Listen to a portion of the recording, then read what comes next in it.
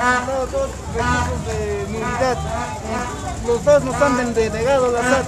A todos nos han denegado, pero la mayoría, la mayoría que, que hacemos nosotros es tratar de buscar una salida. Esa papeleta es ya lo ha dicho hasta el mismo, el mismo abogado que nos está asesorando, pero ¿qué hacemos?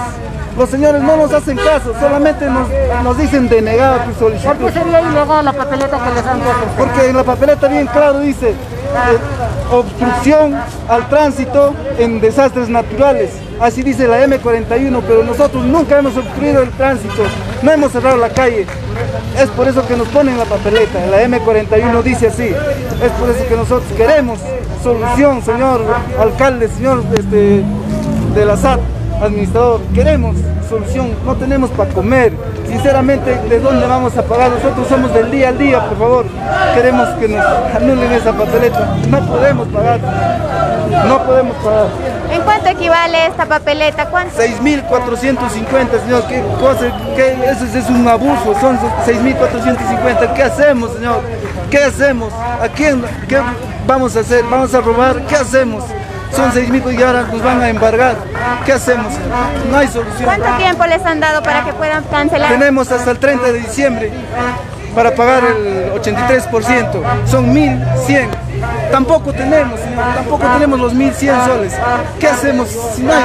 Somos del día de 8 meses que no hemos trabajado y nos ponen esa papeleta por salir a comprar solamente los, nuestras necesidades, por ejemplo, los primeros necesidades que tenemos en la casa. Yo salí a comprar, me ponen esa papeleta.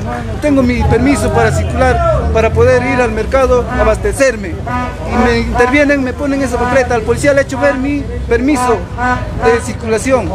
Le he hecho ver mi, mi voucher también que he hecho compras ahí en un centro comercial. Igual me puso la papeleta. ¿Qué- ¿Cómo? Si bien claro dice, ¿no? Puedes circular abasteciéndote, te puedes abastecer. ¿Qué hacemos? Cerrar mi casa sin comer, sin abastecimiento. Es por eso que me ponen esa papeleta. Y es injusta, por eso digo, no, yo tengo mi permiso de circular para abastecerme, tengo mi voucher y así me han denegado mi, mi solicitud. ¿Cuántos transportistas son los que estarían pues, sufriendo este abuso del cobro de 6 mil? Mira, el cobro de 6 mil son más de 6 mil conductores, pero en realidad algunos quieren pagar, está bien que paguen, tendrán dinero, serán profesionales, pero nosotros en su mayoría somos transportistas que vivimos del día al día. ¿Qué hacemos? ¿De dónde vamos a sacar 6 mil soles? Si apenas ganamos 40 soles diario y eso, el alquiler son 35 soles. Ya, pues ¿qué hacemos, señor? No podemos sacar, no podemos, no podemos así, sinceramente, que nos den una solución. Ustedes van a seguir, van a entonces seguir exigiendo que se anule la que se papeleta. anule la papeleta, vamos a seguir porque es ilegal. Ya el, el asesor que hemos presentado nuestro primer reclamo y nuestro segundo nos dijo que esa papeleta es ilegal y ahora los quieren ju- judicializar. ¿Cuántos años va a durar esa papeleta? Son dos, tres, el, el juicio que vamos a tener con la SAT. Incluso pagaré el abogado.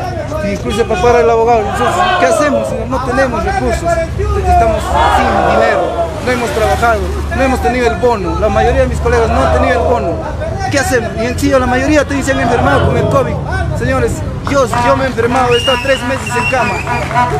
¿Qué hago? ¿De dónde voy a sacar? Ahora mi- mi- mis hijos, mi esposa, mi casa, nos hemos descuidado.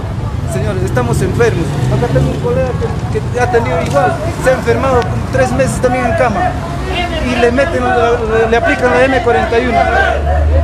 Por eso queremos que nos saluden. Ahí están sus pruebas. Las pruebas. Tengo, señorita. Todos mis jarabes. Tengo mis inhaladores. Todo que me he enfermado, ahí están mis inhaladores. Estoy en estos momentos así mal. ¿Y de dónde voy a pagar esa cantidad? ¿De dónde? Así estoy con mis tratamientos. Así estoy con mis tratamientos. De todo es injusto. ¿De dónde voy a pagar si no tengo dinero? Por eso le digo al gerente de la SAT, señor gerente, por favor, tenemos familia, tenemos un- queremos un pan, nosotros no tenemos un sueldo, nosotros vivimos de día y día, por favor, te lo suplico de corazón, apóyanos, nosotros no somos nadie, solamente venimos a pedir pacíficamente, por favor,